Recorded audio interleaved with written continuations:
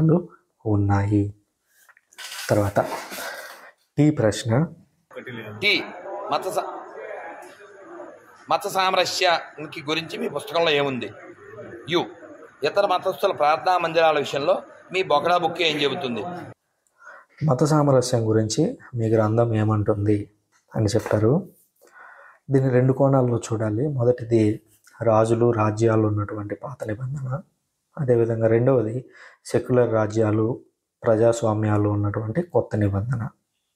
So పాత నిబంధనలో ఏం చెప్పారంటే లేవియ ఖండము పంతొమ్మిదవ అధ్యాయము ముప్పై మూడు ముప్పై నాలుగు వచనాలు ఈ విధంగా ఉంది. మీ చెంత వసించు పరదేశులను హింసింపకుడు వారిని స్వజాతీయుల వలె ఆదరింపుడు. మిమ్ము మీరు ప్రేమించుకున్నట్లే వారిని కూడా ప్రేమింపుడు. మీరు కూడా ఐగుప్తున పరదేశులై ఉంటిరి కదా నేను మీ ప్రభుడనైన దేవుడను. అంటే స్పష్టంగా ఇజ్రాయేలీలకు దేవుడు ఒక ఆజ్ఞ ఇస్తున్నాడు ఏమనంటే పరదేశీయులు వచ్చి మీ మధ్యలో ఉన్నారని వాళ్ళ మీద దాడులు చేయొద్దు. మిమ్మల్ని మీరు ప్రేమించుకున్నట్లు వాళ్ళని కూడా ప్రేమించండి. మీరు కూడా ఒకప్పుడు ఈజిప్ట్లో పరదేశులై ఉన్నారు. ఆ విషయాన్ని గుర్తుపెట్టుకొని జాగ్రత్తగా మలుసుకోండి. అంటే ఇతరుల ఇతర మతాలని లేదా ఇతర ప్రాంతాల నుంచి పరదేశులు వస్తే వారి దేవుళ్ళని ఆరాధించుకుంటూ ఉంటే మీరు వెంటనే వాళ్ళ మీదకి ఖండనకు వెళ్ళొద్దు అని స్పష్టంగా చెప్పాడు. అయితే బైబిల్లో నుంచి మీరు కొన్ని సంఘటనల ఎగ్జాంపుల్ చూపించవచ్చు. ఇతర దేవాలయాలను కూల్ చేసినట్లుగా కొన్ని సంఘటనలు కనిపిస్తాయి. అది ఎప్పుడు అని అంటే ఒక యుద్ధం జరిగేటువంటి సమయంలో. ఆ సమయంలో సాధారణంగా ఎక్కడ చూసినా కూడా వాళ్ళ సంస్కృతిని వీళ్ళు వీళ్ళ సంస్కృతిని వాళ్ళు నాశనం చేస్తూ ఉంటారు. వన్స్ అక్కడికి వెళ్ళి సెటిల్ అయిన తర్వాత చుట్టుపక్కల ఎవరున్నారనేది మనకు అనవసరం. కానీ యుద్ధం సమయంలో మాత్రం కొన్ని రకాల దాడులు జరిగేవి దేవాలయాల మీద. ఇటు యూదుల యూదుల దేవాలయం మీద దాడులు జరిగాయి. యూదులు దాడి చేసినప్పుడు ఇతర మతాలయాల మీద కూడా దాడు దాడులు అనేవి చేశారు.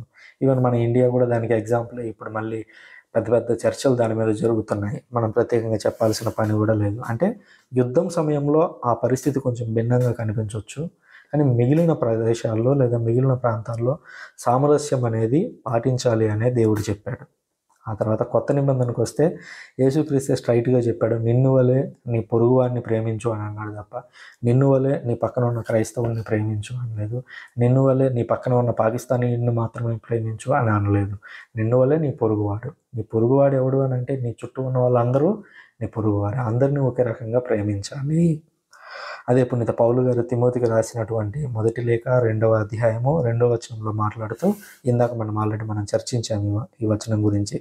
మనము సత్ప్రవర్తనతోనూ సంపూర్ణమగు దైవభక్తితోనూ ఎట్టి ఒడిదుడుకులు లేని ప్రశాంత జీవితమును గడుపుటకై రాజుల కొరకును తదితర అధికారులందరి కొరకును అట్టి ప్రార్థనలు సల్పవలెను.